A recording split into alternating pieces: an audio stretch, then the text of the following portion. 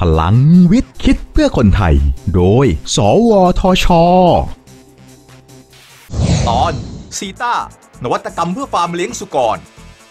อาหารสัตว์ เป็นหัวใจสำคัญสำหรับผู้ทำฟาร์มเลี้ยงเลยนะครับ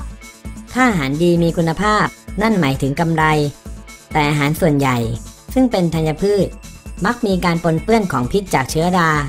ที่อาจสร้างปัญหาลุกลามใหญ่โต ส่งผลเสียทั้งฟาร์มได้เลยนะครับ นักวิจัย สวทช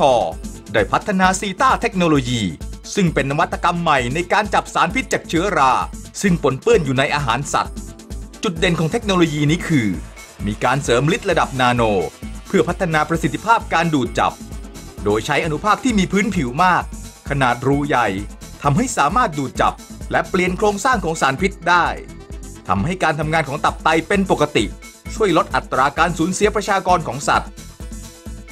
นวัตกรรมซีต้าเทคโนโลยี ช่วยให้ผู้เลี้ยงสุกร ได้ทราบปัญหาการปนเปื้อนของพิษเชื้อรา